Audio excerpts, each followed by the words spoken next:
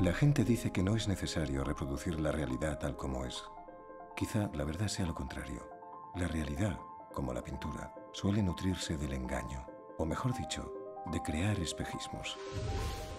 Me tomé la libertad de rechazar el nombre de Michelangelo, el nombre con el que me bautizaron mis padres. Escogí llamarme Caravaggio. De los creadores de Florencia y la Galería Uffizi, y de Rafael, el maestro de las artes, un acontecimiento cinematográfico único, una experiencia visual extraordinaria, un viaje sin precedentes a través de la obra, vida y tormentos de uno de los artistas más apreciados del mundo.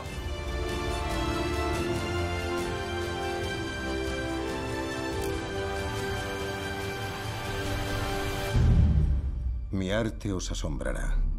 Su fuerza os cambiará.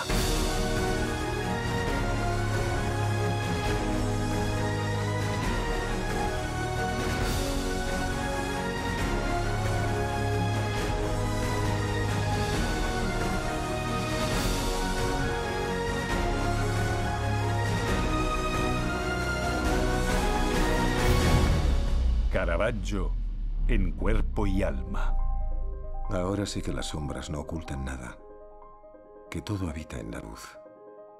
Y yo elijo esta luz.